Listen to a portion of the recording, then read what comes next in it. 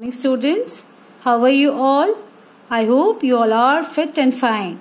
So kids today we are going to start with a new chapter from your evs that is our clothes from the book green world. Before starting with the chapter first we will learn new words so that it will be easy for us to read the chapter.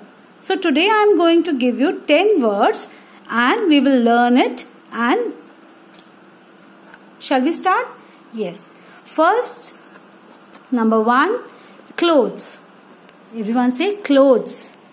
C l clothes. Number 2 important.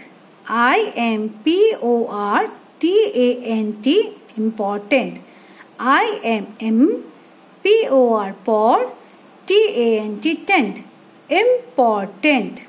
Number third, wear. W-E-A-R, wear. W-E-V-A-R-R, wear. Number four, cotton. C-O-T, cot. T-O-N, ton. Cotton. Number five, summer. S-U-M, sum. M-E-R, mer. Summer. Number 6. Cool.